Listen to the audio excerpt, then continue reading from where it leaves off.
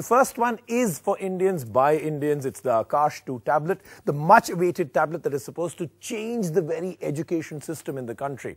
Now, the last 14 or 15 months have changed everything in the country too. A three or 4,000 rupee tablet earlier was unheard of. Today, there are multiple companies that have that. Can the Aakash 2 still be a revolution? Let's find out.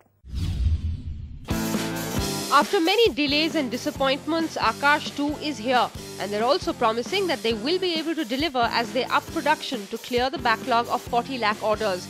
But should you care now? At the time it was announced, Aakash made world news. Lots of people placed online orders, but sadly no deliveries took place for months. By the time people have started getting their tablets, the market has completely changed. The Aakash 2 has now been launched at a price of around 4,500 rupees but today you can pick up a fairly good tablet from multiple brands for around 4000 to 5000. So the price advantage of Aakash is more or less gone. Even in terms of specs, Aakash is not any different. So unless Datawind, the company behind Aakash does something significant with the specs, there isn't going to be the same momentum behind what was once the world's cheapest tablet.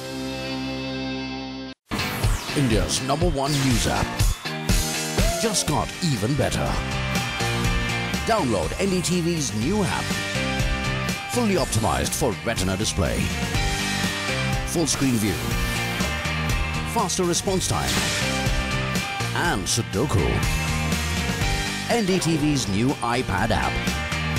Download now.